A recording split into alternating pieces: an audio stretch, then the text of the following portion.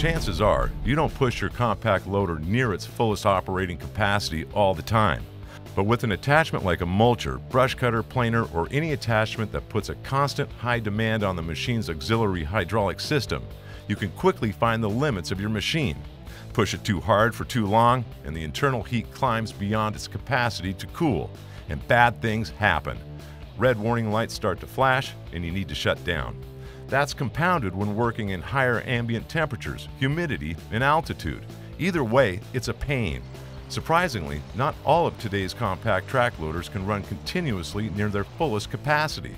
In fact, when we tested the ASV RT75 against six of the top competitors, only one machine could run continuously without overheating. Here's how we tested them. Thermocouples placed in the machine's hydraulic and overflow tanks gave us an exact real-time reading of the system's operating temperature. A hydraulic flow meter attached to the machine's low flow coupler let us apply and maintain a precise hydraulic load on each machine. Although all the machines tested are rated to provide at least 3,000 psi hydraulic flow, we kept the applied load to only 2,000 psi, which we consider to be a relatively light load. And then we ran the machine at maximum engine RPM while maintaining the hydraulic load and watched the hydraulic temperature.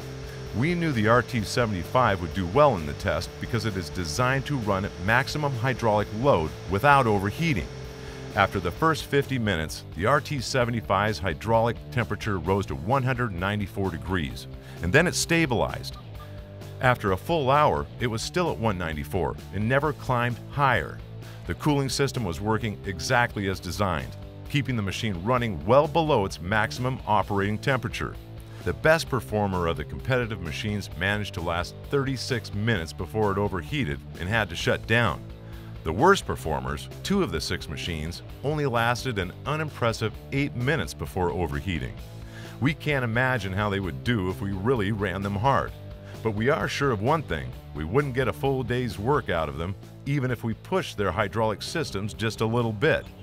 We'd much rather work all day long at full capacity, like you can with an ASV RT75.